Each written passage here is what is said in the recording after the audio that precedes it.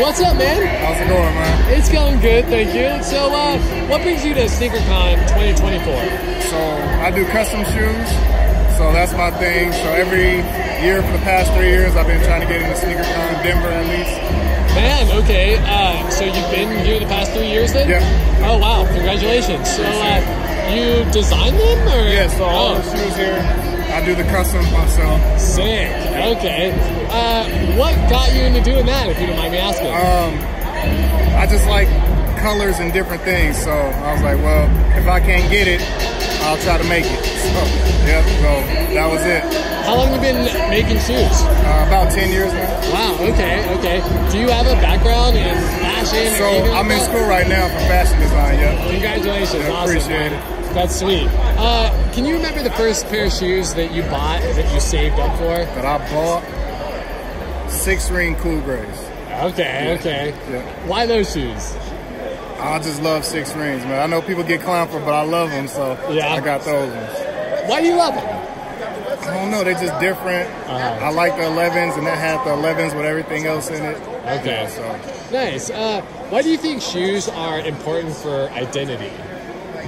It says something about you without you having to say it. I love that. That's very well said. Uh, and for you, uh, why do you think you know shoes are important for community and culture? It brings people together. You see all the people here.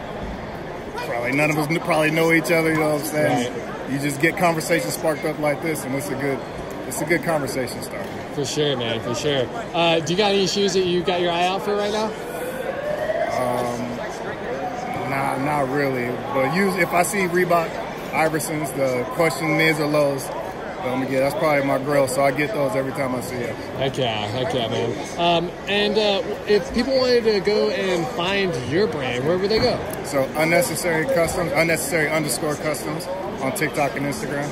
Okay. And uh, so if somebody was making an order, like, uh, is it custom with you then? Like, Yeah, you could either send me the shoes, send me a picture of what you want, or give me an idea of what you want. I can do a mock up, send it to you, see how you like it, and we can go from there. Yeah, is there a design here that uh, that you uh, worked pretty legitimately So- on that you really are drawn This- to? I like these ones because this is the first. I did these about ten years ago. Those so these were the first ones that I did, like with any character or stuff. So I was nervous, you know what I'm saying? So, yeah. So these are my first customs. Are those airbrushed?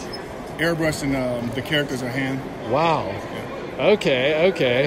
Man, so that's kind of your style then is uh, like just painting, like painting, would you say then? Yeah, yeah. or- paint. Yeah, it's paint on shoe paint. Okay, so, okay. yeah, yeah. That's sick, man. That's sick. Okay, right on. Do you have a favorite shoe that you enjoy to paint on?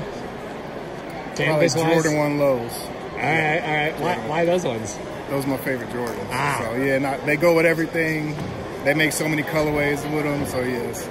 Cool. Yeah, like. All right, man. Well, uh, thanks for your time. I can't appreciate it more, man. Thank you so much. I appreciate What do you look forward to with shoes in the future? I don't know, man. They got so many new styles and stuff coming out, and I think they're gonna start retroing like '90s shoes again. So bringing those back and stuff like that. Okay. Yeah, I see that that trend coming around. So I think that's what's gonna happen. Man. Hopefully, something to look forward to for sure. Right on, man. Much love. I appreciate it.